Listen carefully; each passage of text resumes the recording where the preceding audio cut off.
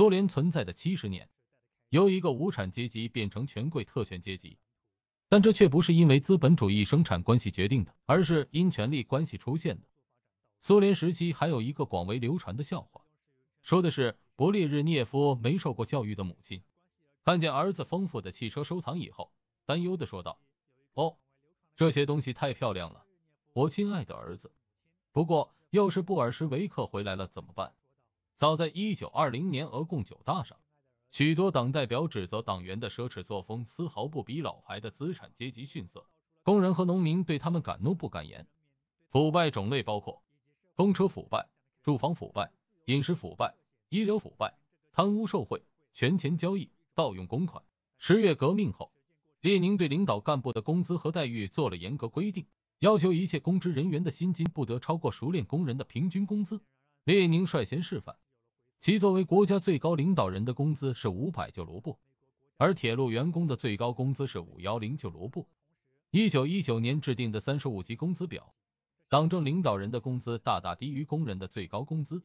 不久之后，领导干部们很快就不靠工资生活了，享受特殊待遇的领导干部们与群众之间的差距越来越大。斯大林接班后，更是建立起了一整套保证领导干部层特权的制度。官僚特权阶层享有一处至多处别墅，子女从幼儿园到大学有专门培养机构或保送入学，并且可以继承房产。最重点是金字塔顶端的官员在国家银行有敞开户头，即户主可以不受限制随意提取款项。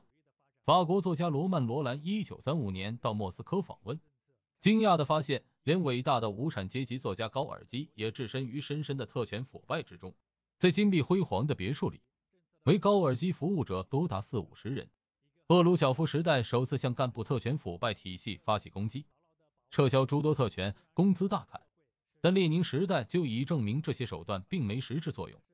于是他开始实行干部任期制与轮换制。丢掉特权的官僚们决心要赶走赫鲁晓夫，成了勃列日涅夫的政治盟友。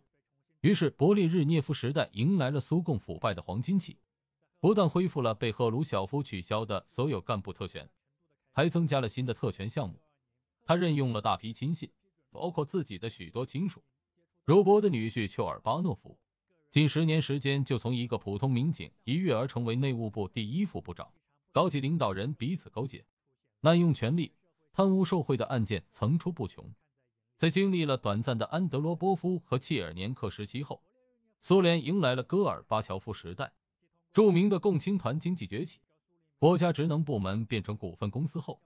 部长成了公司的总裁，股份在领导人之间被瓜分，